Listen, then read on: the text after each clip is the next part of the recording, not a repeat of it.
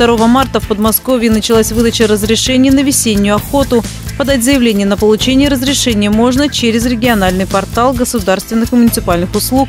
Также можно обратиться в многофункциональный центр госуслуг. Весенняя охота на водоплавающую и боровую дичь в общедоступных охотничьих угодьях области будет разрешена с 20 марта по 10 мая.